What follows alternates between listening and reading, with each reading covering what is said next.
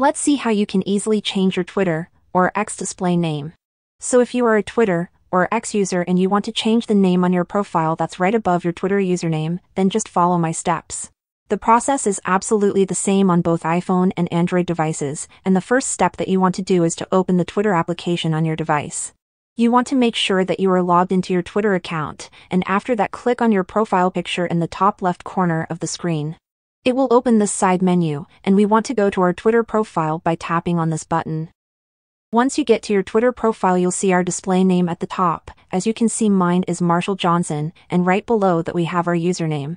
In order to change our display name we'll simply tap on this edit profile button and that's gonna open this page where we can change a bunch of things.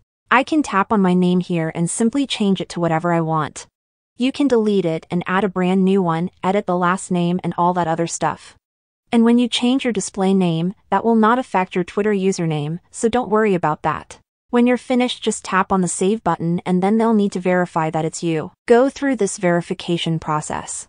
Once you complete the simple verification your display name on Twitter will be changed. If you want to change your username, I have a tutorial for that also and I'll leave the video link in the description of this video. Thanks for watching and I'll see you in the next one.